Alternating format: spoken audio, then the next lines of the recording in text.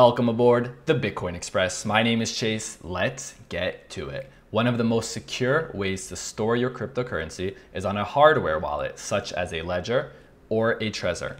And when you create and set up one of these hardware devices, you're provided with a 24 word seed passphrase. And this is used so that if you ever lose your wallet or your wallet gets destroyed, you can recover your funds with this passphrase.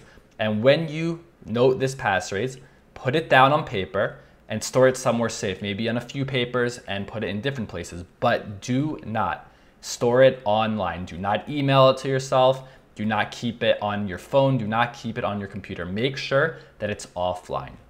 So if you lose your wallet or it burns, you can restore it. And many people wonder how can this happen? If you have cryptocurrency on your wallet and your wallet is broken now, didn't you lose the cryptocurrency? But this is not the case because a cryptocurrency wallet does not actually store any cryptocurrency the way we would think maybe a regular wallet would store money. A cryptocurrency wallet is really not a wallet at all. It's more like a key. It's a key that gives one access to cryptocurrency that's on the blockchain. So when your wallet is destroyed, there's no cryptocurrency that's destroyed. It's still out there on the blockchain. Everyone can see it, but you just need a key to access it. But what if you lose your ledger or you lose your Trezor and the companies go out of business, can you still recover your funds? And luckily, yes, you can. And the way, you can do this is by choosing any other wallet that supports BIP39 or BIP44. Now, BIP stands for Bitcoin Improvement Proposal, and it's a design that's approved and used by many popular hardware wallets. And it's a, it's a mnemonic phrase of easy to remember words and it can be used to serve as a backup so that you can get access to your coins even from another wallet. It doesn't have to be Ledger, it doesn't have to be Trezor. It could be any wallet that supports BIP39 or BIP44. And luckily, there are so many options. So again, let's say Trezor goes out of business and Ledger goes out of business, and you have all of this Bitcoin, all of this cryptocurrency, and you want to restore it. You can restore it on other hardware wallets, such as KeepKey, Cool Wallet, or Coldcard.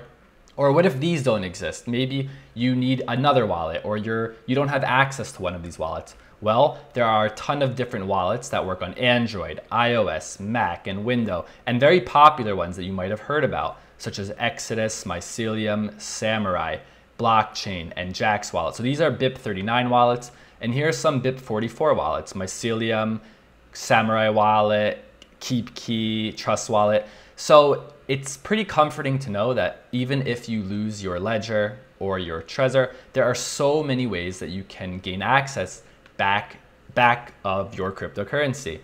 But sometimes you might not even have access to these hardware solutions. You might be in another country, you might be on a trip and you got stuck there and you lost your funds or you need funds.